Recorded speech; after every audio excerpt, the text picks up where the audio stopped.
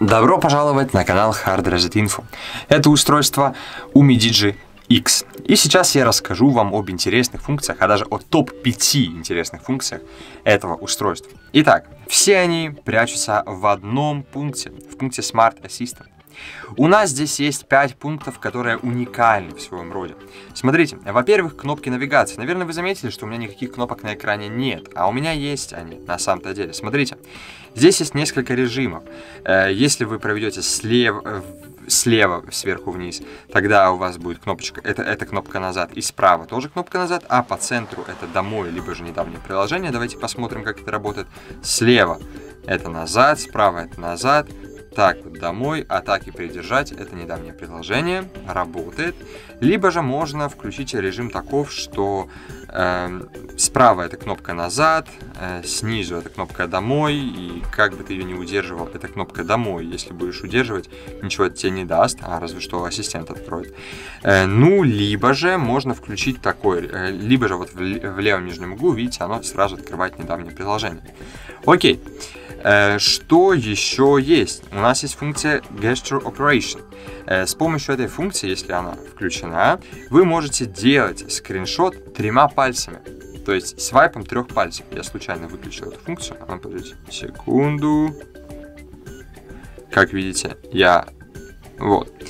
То есть функция действительно удобная, но она работает у меня только сверху вниз, а не снизу вверх. Почему? А я вам отвечу, потому что у меня включена функция Up Split Screen.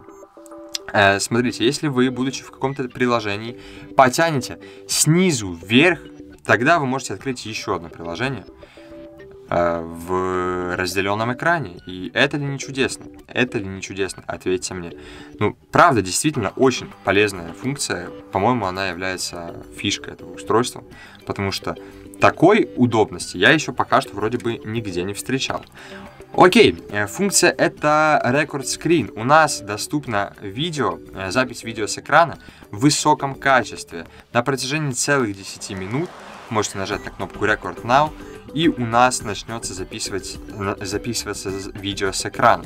То есть не нужно устанавливать никаких приложений, оно уже встроено в ваш телефон оно записывает звук либо же э, с микрофона вашего, либо же не записывает вовсе. Это, конечно, минус, то, что не записывает звук, там, с игр, например, но все равно неплохо. Game Mode, игровой режим. В этом режиме вы можете, ох, вы можете много всего сделать.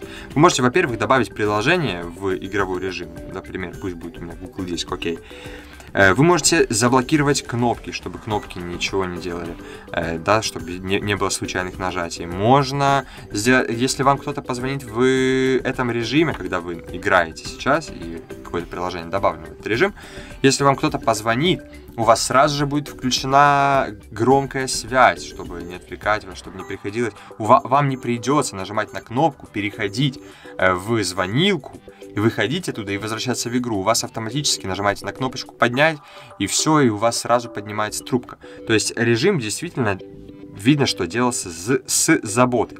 Ну и бонусная. Давайте о бонусах расскажу. У нас есть функция Face Control, это функция э, для распознавания лица. Работает она действительно знатно и хорошо. С этим как бы спорить нет никакого смысла. Э, можно добавить свой, свое лицо э, для того, чтобы разблокировать ваш телефон э, с данными вашего лица. Нужно немного покрутить лицом перед камерой.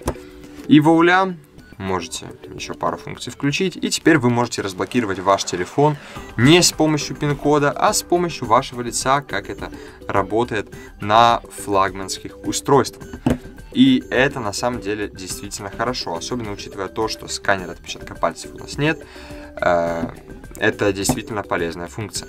Что ж, друзья, на этом я, пожалуй, закончу. Спасибо большое за просмотр этого видео. Если вдруг оно оказалось хоть капельки полезным для вас, обязательно напишите мне об этом в комментариях, либо же в Инстаграм. Ставьте лайки, подписывайтесь. И до скорых встреч. До свидания.